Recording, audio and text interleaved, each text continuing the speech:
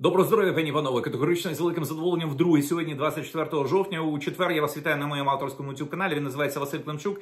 Це наш другий брифінг за сьогоднішній день з основними параметрами, характеристиками, власне, в розвиток вже всієї подієвості. Ну ем, ми говорили з вами за лінію бойового зіткнення про справи, які зараз ем, вирішують наші захисники, про основні напрями, тактику, стратегію росіян на східному фронті. Звичайно, стан справ. Ну наскільки про це можна говорити стосовно Курщини.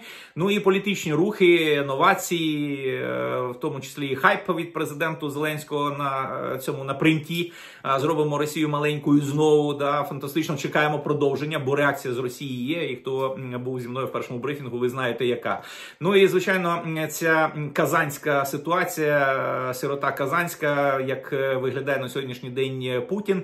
Сирота в якому розумінні, що багато що хотів, мало що отримав. Серед того, що напевно мало виглядати не так в розумінні Путіна це текст Казанської декларації БРІКС, який був узгоджений по суті всіма учасниками. Поки що немає інформації, що хтось не підписав. Ну були хто не приїхав, там Бразилія і Сербія, на яких розраховував Путін, але не приїхали. Бачите, слава Богу, і е, цей і Орбан туди не полетів, е, так якби поспостерігати, там повечеряти. Оце як зробив цей Гутєріш, е, да, поїхав, дали йому там чорної корки. Там меню, до речі, можете в телеграм-каналі Василь Климчук подивитися, за що людина полетіла туди.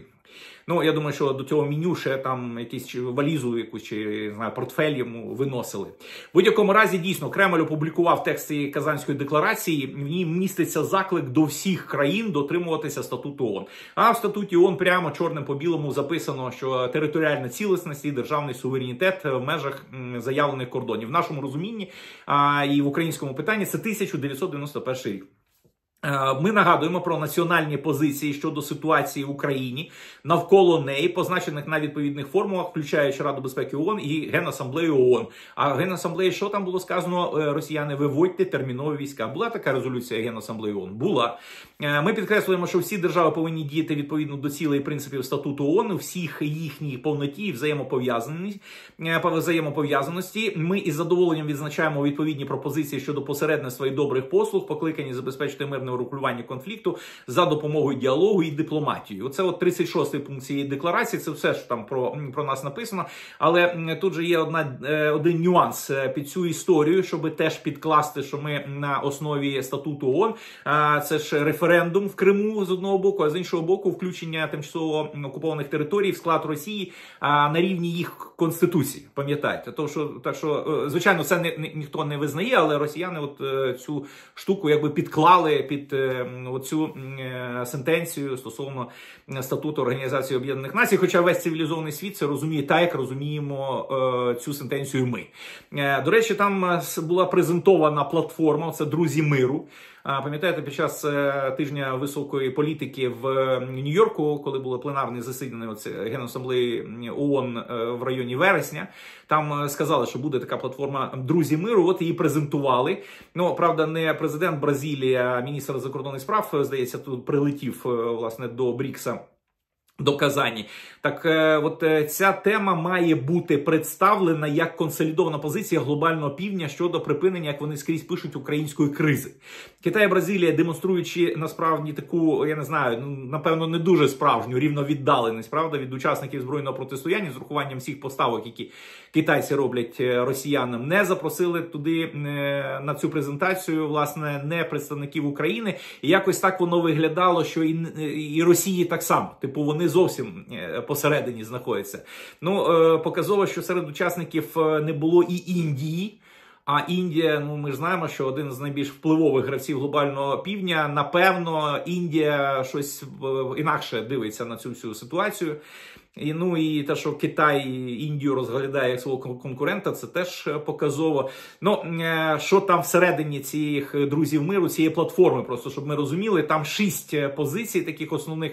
Е, по-перше, вони написали, що треба дотримуватися трьох принципів для охолодження ситуації. Е, що туди входить? Припинення бойових дій, незагострення конфлікту і не розповсюдження його на нові території. По-друге, визнати, що діалог і переговори єдиний можливий спосіб вирішення кризи. По-третє, сторони конфлікту мають уникати нападів на цивільних осіб, цивільні об'єкти, захищати жінок, дітей і інших жертв конфлікту, а також поважати основні права військовополонених. Ну, в принципі, якби це точно не для Росії цей пункт. По четверте, протидіяти використанню ядерної біологічної хімічної зброї, запобігати поширенню ядерної зброї, уникати ядерних криз. Привіт Путіну однозначний. По п'яте, протидіяти збройним нападам на мирні ядерні об'єкти. Ще раз привіт Путіну. Е, ну і можливо опосередковано його захист в контексті захопленої ним Запорізької атомної електростанції. Вони ж можуть під це теж підводити.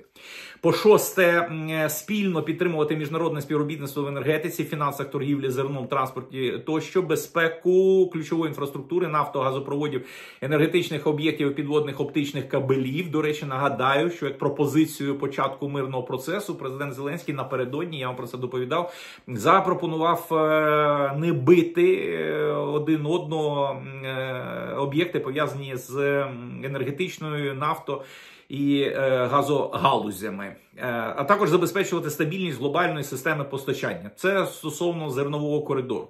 Ну е, тобто, кожен може викрутити ці пункти, як йому вигідно. Вони достатньо універсальні, але жодної конкретики немає, тому що тут не позначено, хто напав, а хто насправді жертва. Ну, якби така китайська, чисто китайська модель про все і не про що. За все хороше проти всього поганого. Ну, звичайно, що в Пекіна і Бразилії є свій там інтерес просувати цей план, бо Бразилія економіка, яка історично залежить від Росії. Теж уважні глядачі на моєму каналі знають, що насправді е, найбільше добрив. Росія відправляє в Бразилію, а Бразилія фактично вся. Ну уявіть собі, е, площі Бразилії, вона вся залежить від добрив з Росії. Ну історично так склалося. По суті, е, ще з 22-го року стало одним з найбільших споживачів російського диспалива, і вона хоче ця країна набути статус глобального гравця. Ну а для Китаю ініціатива. Це спроба наростити, напевно, ж політичний вплив не лише там е, серед країн глобального півдня, але й в ЄС, е, де КНДР хочуть е, КНР хочуть бачити центром сили незалежним від США. Ну от якраз ця вісь по лінії Віктора Орбана, потім там Олександр Лукашенко, потім Владімір Путін. Зрештою, не в інтересах Китаю поразка Росії, бо по суті це якийсь проксі, да, вже можна говорити, чи ще будемо говорити молодший партнер війні з, зі Сполученими Штатами. Однозначно. Був і Ердоган в Казані. А якраз після того, як до Ердогана, згадайте, минулого тижня прилітав Шольц одразу після розмови з Байденом, Стармером і Макроном. Потім до Ердогана приїздив, ну прилітав, приїздив е, міністр закордонних справ України Сибіга. І тепер Ердоган з цими знаннями поїхав до Казані. І він якраз пізно ввечері зустрічався з Путіним. Е, це інформація від департаменту з комунікації адміністрації президента Туреччини. В релізі так е, написано, що сторони обговорили проблеми близького сходу і України. Ну близький схід там зрозуміло. Звичайно, Путін напевно пояснював. Ну звичайно, чи напевно пояснював, а звідки в Хезболи зброя з Росії з одного боку. Ну під час зустрічі ж бачили, був теракт якраз е, в Стамбулі дуже великий. Причому там вдарили по штаб-квартирі е інституція, яка займалася військовими авіаційними космічними розробками. Там, начебто, і загинув головний інженер. Це е привіт від кого? Ну да, звичайно, від сепаратістів. Там курська ця партія була вдарена цієї ночі, теж атакована, але просто дуже показово. Ердоган з, з Путіним і то йому показує там чи ці проксі сірійські показують насправді, як вони можуть попоратися, якщо Ердоган буде погано домовлятися. Ну а в чому домовлятися? Бо ж е, в росіян там обструкція. По перше, підняв плату за проходження цими протоками, заборонив е, перевезення верстатів до Росії. а Це для них удар. Ну і плюс е, прості русські туристи не можуть розраховуватися своїми картками, бо вони в Туреччині не працюють. Ну, типу Ердоган сказав, там я я особисто займусь питанням там турецькі картки, ці, ці російські картки ми якось полагодимо. Ну в будь-якому разі е, повідомляють, що Путін і Ердоган ну близько години спілкувалися за зачиненими дверима. Ну я не сумніваюся, що якась позиція заходу була передана. Путіну і теж незабаром в контексті, наприклад, е, стратегічної авіації, ми будемо бачити чи не бачити його відповідь. А тепер щодо позиції, яку от е, висловлюють ці учасники цього форуму, ми з вами тільки що проговорили позицію Китаю, Бразилії. Є реакція нашого міністерства закордонних справ на цю казанську декларацію е, по лінії Брікса. Спроби Москви нав'язати уявлення про нібито альтернативну позицію глобального півдня щодо російської агресії зазнали чергового фіаско. Е, в МЗС України звернули увагу от на цей пункт 36-ї декларації, який я вам зачитував вище, присвячений Україні, в якому його учасники лише нагадали про власні національні позиції щодо ситуації в Україні, свою відданість цілям і принципам статуту ООН, а також мирному врегулюванню дипломатії. Вважаємо, що цей текст фактично свідчить, що Росії не вдалося експортувати учасникам саміту БРІКС свої е, неоімперіалістичні погляди на зміну світового правопорядку і глобальної архітектури безпеки через агресію проти України. Ну такі висновки ми з вами робимо. Декларація продемонструвала, що БРІКС, як об'єднання, не має єдиної позиції щодо російської агресії проти України. Ну як я ж кажу, і вашим, і нашим. Індія в результаті, хоч і не була на презентації, але на цей ранок ми можемо говорити на першу половину дня, що вона долучилася до групи друзів миру. Е, це сказав е, Сі Цзіпін, Якось вони там з Моді. Хоча Моді вже виїхав з цієї конференції. І за відсутності моді Сі Цзіпін казав, що він долучився. Китай, Бразилія і низка країн глобального півдня створили групу друзів миру. Вона спрямована на об'єднання голосів, які виступають за якнайшвидшу деескалацію конфлікту в Україні, для чого необхідно перестати підливати масло вогонь. Ну да, е, Північна Корея за мовчазної сходи Китаю цього абсолютно не робить. Да, Ми ми, ми так і, і знаємо, і друзі миру. А причому там, коли вони пишуть, що якнайшвидше деескалація конфлікту, я ж вам доповідав інформацію від навколо військових російських пабліків, е, таких серйозних, які стверджують, що Сі на самому початку розмови з Путіним прямо сказав. А е, Вован, скільки ти ще будеш займатися цією війною? Може час згортатися? Була така фраза, і всі на неї звернули увагу. Як буде згортатися, в яких умовах? В будь-якому разі, моді той самий індійський лідер, в нього теж є певні складнощі на сьогоднішній день. Йому треба їх вирішувати. І е, в якому контексті що стало відомо, що він, окрім того, що е, забезпечує величезні кількості оцією макулатурою рупіями Путіна. Путін не знає, що з цими рупіями робити, бо тільки може в Болівуді закупляти там кінострічки, ну яке ще обладнання, айфони, напевно, що може закуповувати в Індії, яка їх виробляє. Е, Франція звернулася до Індії з закликом не допомагати в експорті запасних частин, зокрема до російських літаків су 30 в тому числі через Казахстан. Тут відкрилася страшенна таємниця. Значить, вони ще займаються тепер паралельним імпортом. Е, росіяни, значить, по лінії Індії. Журналісти повідомляють, що Індія отримала офіційне повідомлення від уряду Франції стосовно блокування експорту запасних частин країнам, які можуть постачати їх в Російську Федерацію. Це занепокоєння було викликано тим, що через санкції Росія проводить ремонт своїх винищувачів су 30 друзі на території Казахстану, якщо ви не знали. І е, експорт французького обладнання, там є якісь деталі в цьому су 30 до Росії заблоковані. Так вони е, через Індію.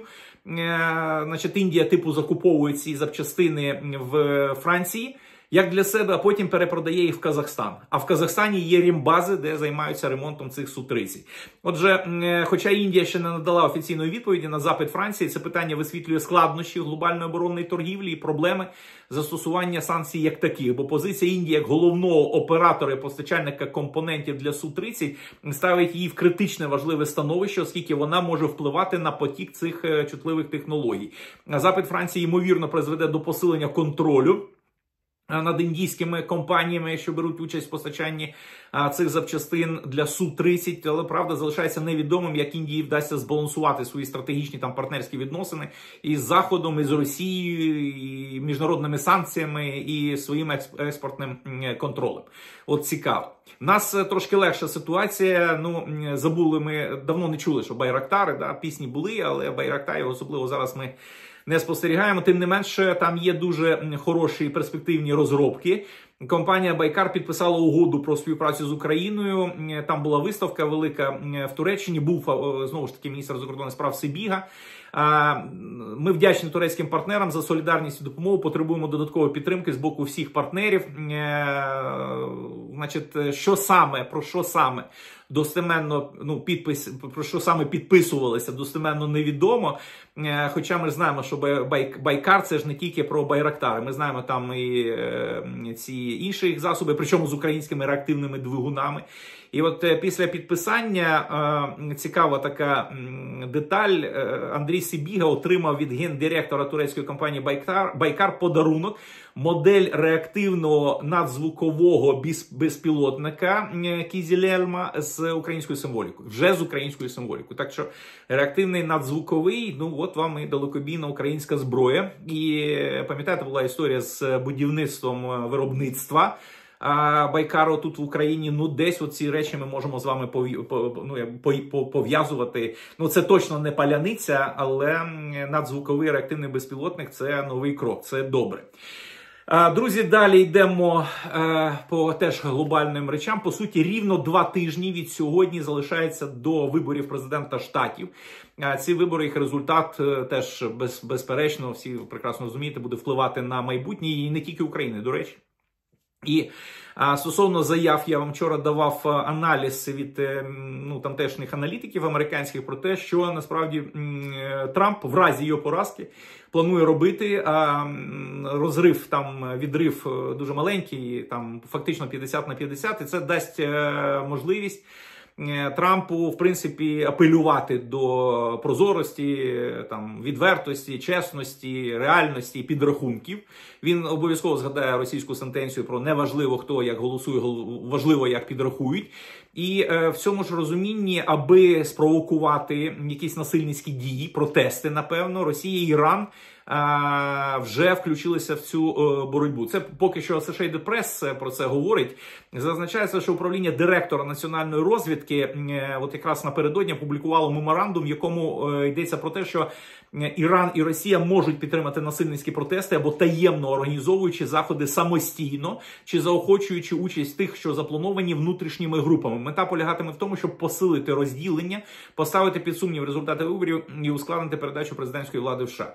Ну ми маємо з вами сподівання, що американська влада з такими потужними речами якби готується до цього всього і буде якимось чином там ці групи якось виокремлювати, щось з ними робити. Бо якщо цього не відбудеться, ну кіно про громадянську війну, це ж е, на початку року вийшло на екрани, десь якось стане якимось предвісником якихось процесів. Але це дуже серйозна ситуація. Серйозна ситуація і в Орбана, друзі. Тут е, в Європі в нас. Е, ну, Орбан же чекає на Трампа як не знаю, на на манну небесну, бо Орбан, Трамп, дружба, там всі всі ці справи. Але опозиція різко випереджує е, в опитуваннях партію Орбана. Е, це вже реляція від Ройтерса. В першій половині жовтня 42% угорців, які визначилися з вибором, підтримали партію Тиса. Оце Петер Мадяр.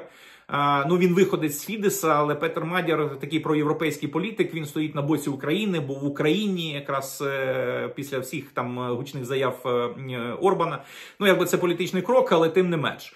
Водночас Фідес підтримали 40% виборців. Тобто до останнього ще Фідес був попереду, але тепер уже бачите, після всіх заяв, рухів і розуміння, куди веде Орбан Угорщину в тому числі до європейської ізоляції, розказуючи про те, що е, там ледь не європейська комісія започаткувала процес насильницького повалення е, діючої влади в Угорщині. До цього договорився Орбан. Це свіжак-свіжак прямо. І от е, тепер є в соціології така зміна позицій. Тобто, це перша ситуація за багато років.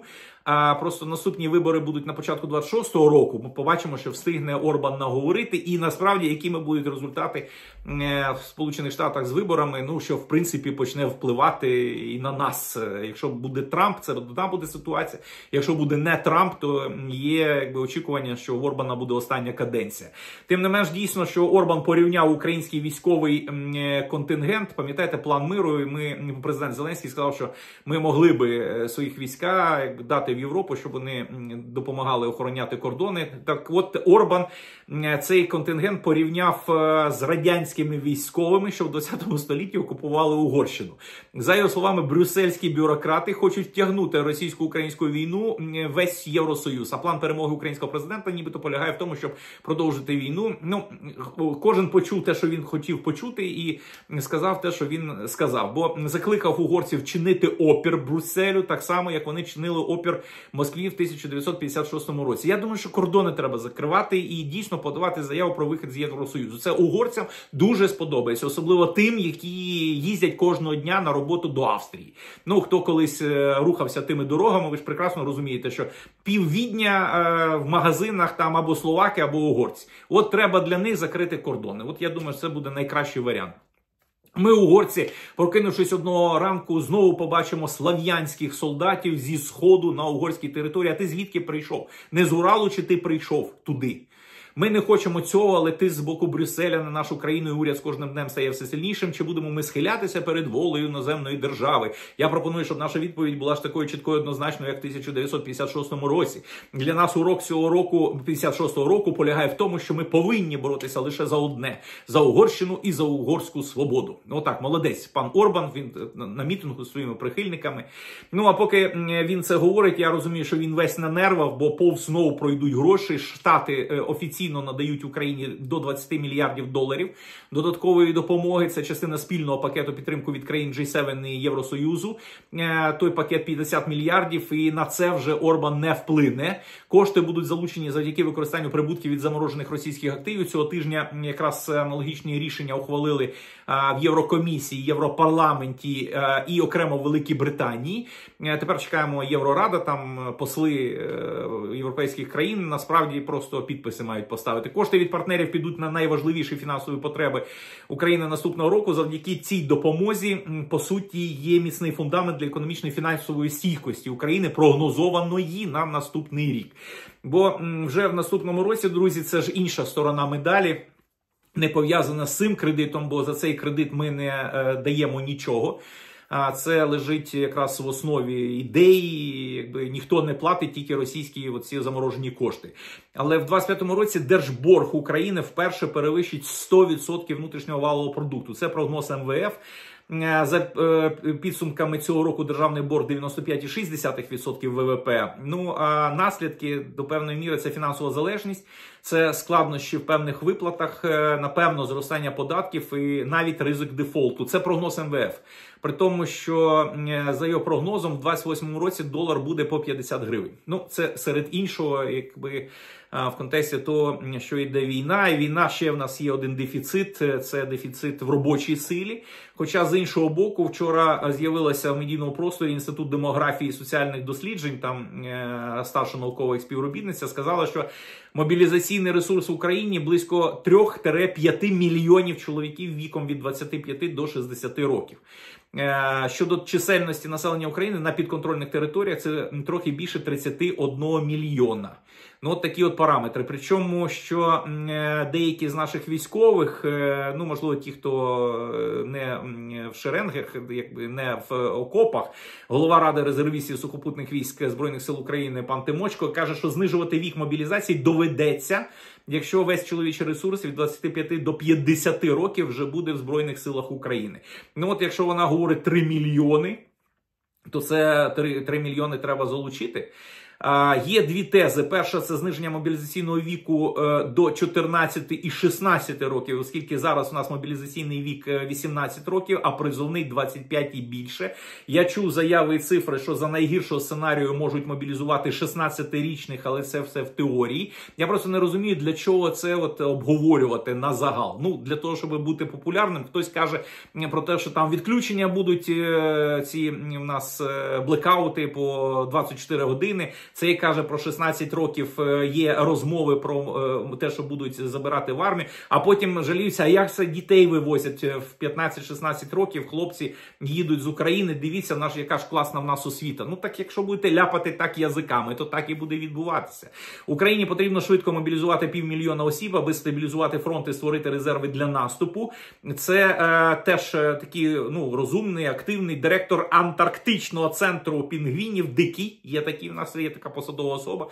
За його словами, після цього можна набирати кожного місяця від 20 до 30 тисяч осіб. Ну, Можливо, серед підгвінів, я не знаю, чесно, як як це собі медикують люди. Ну для того, щоб напевно цитували. А я мушу це говорити вам, щоб ви були теж готові, а не дуже шокувалися якраз е, від е, цих заяв. Це, це, зовсім не офіційні заяви, абсолютно. Але вони, знаєте, якби для збільшення рейтингу популярності так чи інакше будуть е, лунати.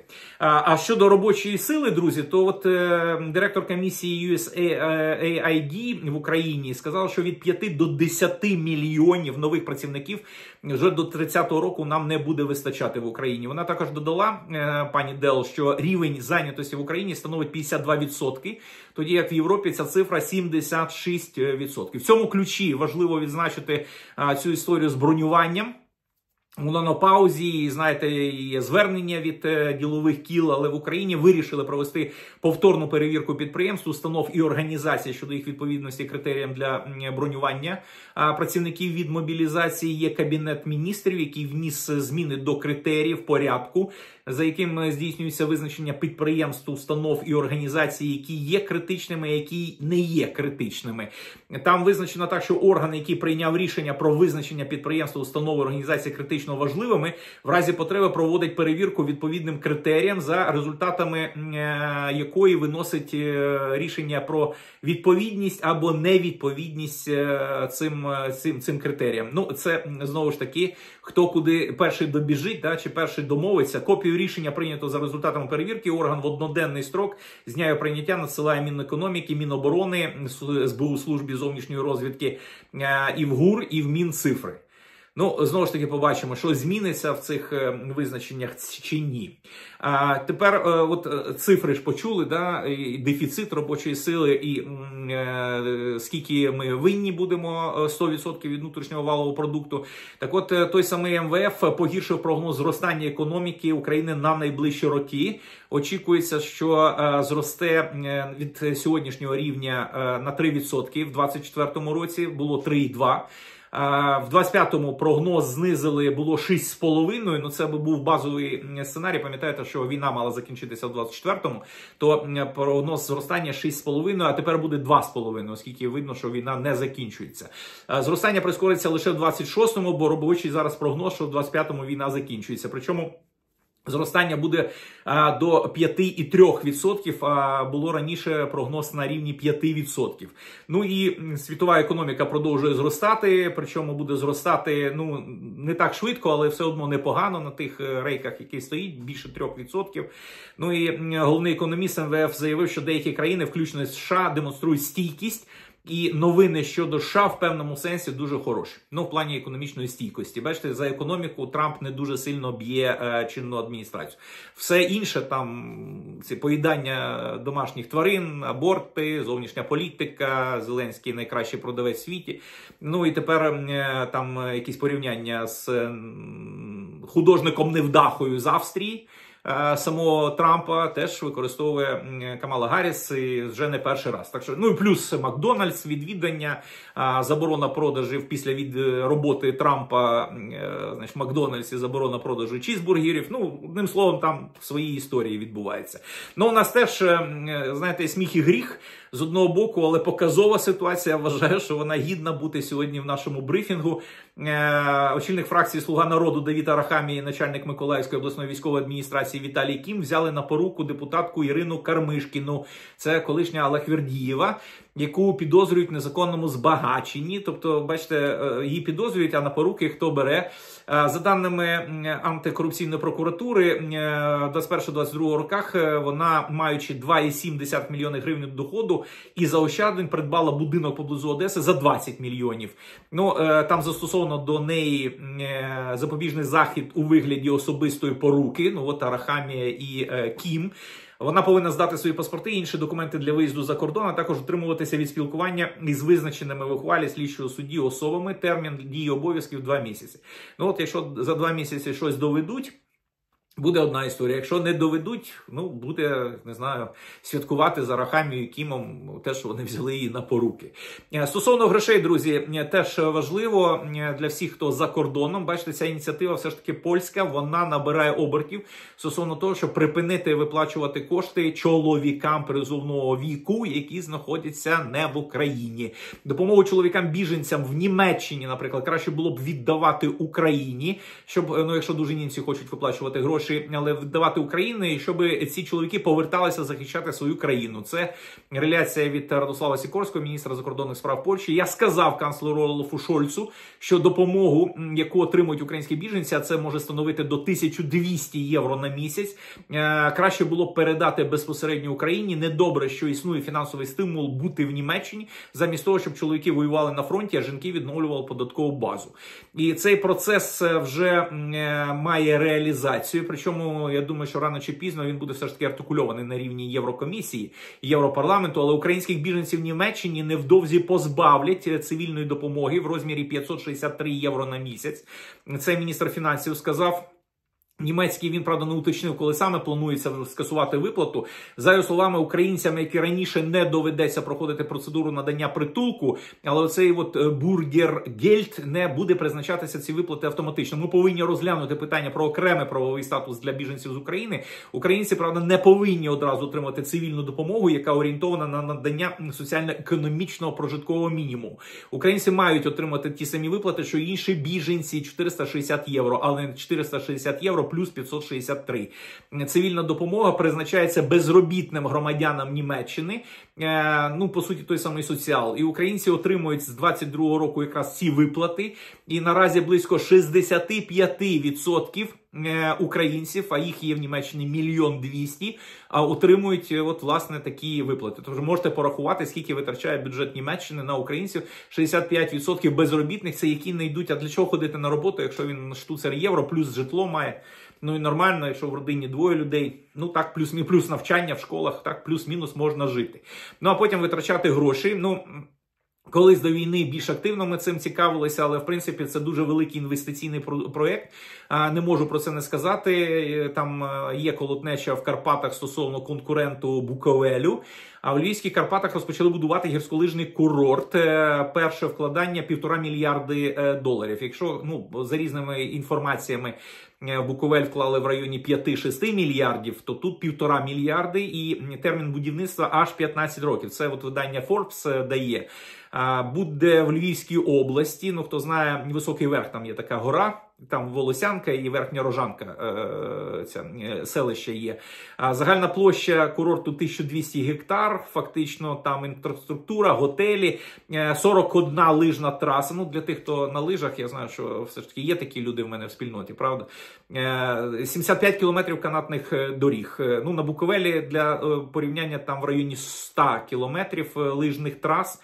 Е, і е, досить широка система з цими е, витягами. Тут також буде найдовша в Україні гондольна канатна дорога 2,8 кілометрів, і найдовша лижна траса 3,8 кілометрів. Ну будуть конкурувати з Буковелем, аби тільки сніг був і мороз на тлі от всіх кліматичних а, змін. Причому, що на території першої черги курорту побудують 5 готельних комплексів на 1100 номерів, і вже в 28-29 там ну я сподіваюся, що будуть якраз потенції їхати кататися на лижах, кого це буде стосуватися. Так, друзі, е, я хотів би просто на цьому поставити крапку е, в сьогоднішніх брифінгах з основними параметрами, щоб не вантажити вас цифрами. Але в принципі ми ж на цьому спілкуванні не закінчуємо. Слідкуємо і тримаємо кулаки за оборонців нашого неба, бо триває бойова робота, якраз в цей момент, коли я записую це відео. В будь-якому разі теж багато повідомлень інформації, які ми обов'язково з вами на вечір розберемо. Я дуже сподіваюся, що ввечері ми зустрінемося, і все буде добре добре в кожного з нас. Дякую, що ви на каналі. Підписуйтесь, дзвіночок не забувайте вмикати, би не пропускати сповіщення про момент виходу наступного відео. Традиційно категорична українська вподобайка, лайкос, е, гіперпосилання на це відео для ваших рідних, знайомих, близьких, коментарі. Е, все як має бути. Друзі, щиро дякую моїм е, патреонам, спасибі спонсорам каналу. Дякую всім, хто підтримує мою роботу, особисто мою роботу. В описі до цього відео є всі можливі опції. Так що, якщо ви маєте бажання і можливості, радий буду спілкуватися. Але на загал не забуваємо. Я про це системно кожного дня, вже скільки років поспіль кажу. Пхаємо хто як вміє вміє, хто як знає, хто як може. З нашими героями, хлопцями і дівчатами, нашими героїчними збройними силами пхаємо до перемоги, бо вона обов'язково буде. Навіть не сумнівайтеся. Дякую за ваш час. Хай щастить. До побачення до наступного відео. Не перемикайтеся, тому що далі обов'язково буде, і ми всі з вами робимо Росію знову маленькою. Однозначно. Слава Україні!